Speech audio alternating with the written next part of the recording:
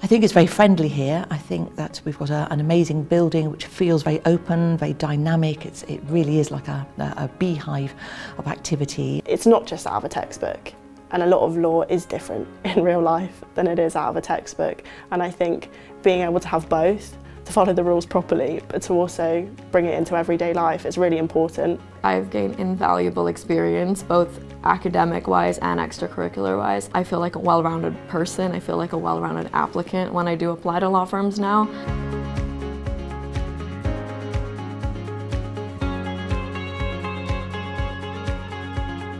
Well, I'm a module leader, so that means I'm in charge of the modules I teach on uh, and can therefore be in charge of what goes onto Blackboard, all the messaging to students, um, and hopefully making sure that everything is really clear uh, and available to them in good time so they can do their studies as they, as they wish. The academics are brilliant. The teachers are incredibly supportive. We've got the luxury of just walking into our academics office because they're right by where our classes are.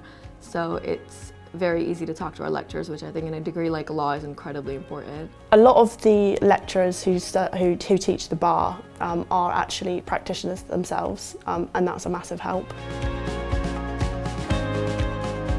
I started off by thinking I wanted to study in London, I wanted to live centre London and live that life. But as I researched a bit more, I realised a lot of it was online. Something that UWE offered was you know, the courts and to be in person, to be meeting new people, to be networking. And that was a really big factor for me. So I decided actually I didn't want to study in London and I had a complete change of heart. I think one of the main things that attracted me to Bristol was the diversity because it's a giant city, it's vibrant, the culture is great, and there's tons of international students. The, the Law Clinic has been in operation for a number of years now. I took it over about three and a half years ago. It started out as a standalone provision, uh, so students could sign up and just come with me to the family court on a Friday. And that's really grown now into a full module that third year law students can take, and that's called lawyering and practice. And so the beauty of this is that it's, it, the educational value is, is, is much, much greater, I think. It's not just about observing, uh, it is really about participating. It's real world learning, real clients, real problems in real time, and, and you can't get better than that. The one thing that I really like the most is the courts, and I think it really helps to get me in character, which sounds strange because it's, it's sort of like you're acting, I suppose.